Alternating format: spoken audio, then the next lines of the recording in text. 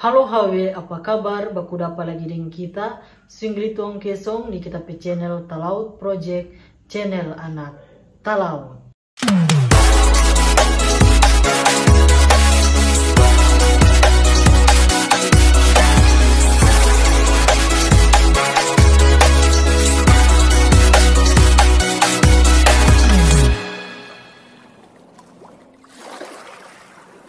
Ya, jadi HW bagaimana kabar semua? Ada sehat-sehat Jo? Selamat orangnya baku apa karena beberapa bulan belakangan ini kita sudah jaga upload konten di YouTube. Jadi minta maaf teman-teman. Ada banyak sekali kita pe subscriber, coba tanya-tanya pak kita, kapan HW mau upload konten di YouTube. Jadi karena banyak sekali coba tanya-tanya pak kita, khususnya dorang tanya-tanya tentang konten sejarah. Jadi kita beberapa hari belakangan ini mulai cari-cari e, tentang sejarah-sejarah di laut yang bagus kita mau bahas. Jadi akhirnya kita dapat salah satu cerita rakyat atau cerita sejarah yang bagus kita mau bahas. Jadi kali ini kita mau bahas tentang cerita rakyat Ampaha dan Watu Halawo dari desa Mangaran. Jadi buat teman-teman yang orang Mangaran, tonton video ini dari awal sampai akhir karena ini cerita rakyat dari desa Mangaran. Dan buat teman-teman yang suka tentang konten sejarah, boleh klik tombol like di video ini supaya kita tahu berapa banyak orang yang suka kita bikin konten tentang sejarah. Dan buat teman-teman yang belum klik tombol subscribe atau belum subscribe, langsung juga klik tombol subscribe sekarang juga karena subscribe itu gratis teman-teman. Sudah so klik tombol subscribe? Oke, mantap HW. Jadi ya, cerita rakyat Ampaha dan Watu Halawo. Ampaha ini adalah salah satu nama air terjun di desa Mangaran. Ampaha ini berarti terpancarnya, memancarnya darah orang Barangini atau bajak laut. Jadi di Ampaha ini, di air terjun Ampaha ini ada salah satu peristiwa penting yang terjadi di masa lalu, yaitu tentang pertempuran antara bajak laut atau barangingi dari Kepulauan Sulu, Mindanao Selatan dengan orang Talaut, khususnya orang Mangaran pada waktu itu. Jadi nanti teman-teman simak bagaimana itu DP cerita. Oke, berikut DP cerita sejarah. Kisah ini berawal dari kedatangan suku Balangingi di Kepulauan Talaut dengan tujuan merampok dan membunuh. Orang Talaut pada waktu itu tidak ada yang berani melawan karena suku Balangingi dikenal sakti dan tidak mempan senjata apa pun. Untuk menghindari satu-satunya cara hanya dengan lari dan mencari tempat persembunyian untuk menghindar dari malapetaka. Pada suatu hari tiba-tiba muncul sebuah perahu Balangingi di pelabuhan Mangaran. Melihat itu masyarakat menjadi panik dan berlarian mencari tempat perlindungan. Balangingi mendarat dengan senjata di tangan menyelinap ke kampung mencari mangsa. Akan tetapi kampung sudah kosong. Hati para pelaut pun semakin panas bagaikan harimau lapar. Mereka mencari mangsanya, namun tempat persembunyian penduduk belum juga ditemui. Setiap kali melihat ada balangingi, penduduk bersembunyi dan menyelamatkan diri di Watu Halawo.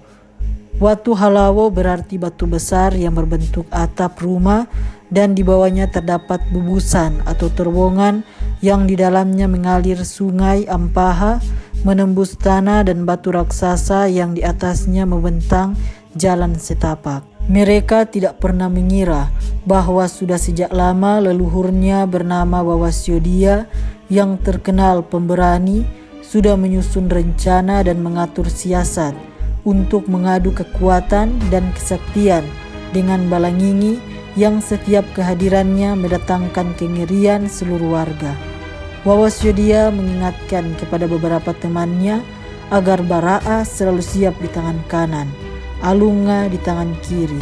Tetapi apabila mendengar komando serang, lontarkan pertama kali adalah Alaid. Setelah Alaid melayang menuju sasaran, langsung diikuti dengan lompatan. Tepat ke tumbuh lawan, tertancap atau tidak Alaid, langsung membabat dengan Baraa agar musuh tidak mempunyai kesempatan untuk meraih Alait yang kesasar. Suatu saat Balangingi mulai muncul satu persatu dengan gerakan yang mencemaskan Wawasyodia bersama anak buahnya. Namun mereka diam, menunggu komando pimpinannya untuk menyerang. Wawasyodia masih membisu membuat perhitungan sampai seluruh pasukan Balangingi sudah lewat agar mudah untuk mengepung. Tetapi setelah tiba pada terowongan Watu Halawe kurang lebih 7 meter ke muara Watu Puiana, Tiba-tiba pimpinan Balangingi berhenti dan memikirkan kondisi tempat mereka berjalan sebab di kiri kanan sungai jurang yang dalam setinggi kurang lebih 10 meter dan di bawahnya terhampar batu sungai yang runcing. Dengan kecewa mereka memaki-maki. Setelah mereka lewat, pasukan Wawasodia berteriak dengan komando kejam, Pamatae alaita, yang artinya lontarkan tombak. Serentak Alait melayang mencari sasaran. Balangingi terkejut dan lari kalang kabut menyelamatkan diri. Tetapi malang, tiga orang pasukan Balangingi menjadi sasaran Alait, di antaranya Hulu Balang, Maumbang sebagai pimpinan. Berbagai usaha untuk mencabut Alait dari tubuhnya tetapi sia-sia sebab alat Alait adalah alat perang yang mempunyai sangga karena usahanya sia-sia, maka ia berteriak memerintahkan anak buahnya untuk melarikan diri menuju perahu dan pulang langsung ke Mindanao. Sepanjang sejarah para bajak laut ini baru sekarang di Mangaran ada orang yang berani melawan Balangini. Keampuhan senjata Mangaran bila sudah tertancap di tubuh sulit untuk dicabut karena sanggannya mengait daging dan kulit. Ketiga orang yang kena tancapan alait kemudian meninggal di Mangaran. Hanya disesalkan tulang-tulang balangingi yang menjadi korban tidak diamankan oleh leluhur Mangaran sehingga mereka kehilangan bukti dari peristiwa itu.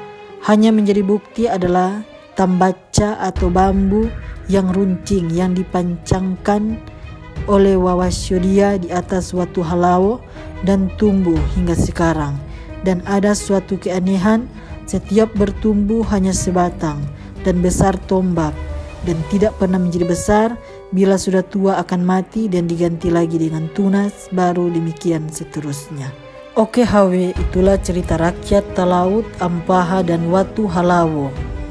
Oke HW, terima kasih so menonton video ini dari awal sampai akhir. Jangan lupa klik tombol like jika suka video ini dan jika punya pendapat tentang video ini tinggalkan pendapat teman-teman di kolom komentar di video ini. Dan kalau teman-teman belum subscribe channel saya ini Talaut Project, langsung saja klik tombol subscribe karena subscribe itu gratis teman-teman agar supaya teman-teman bisa mendapat informasi terbaru dari channel saya.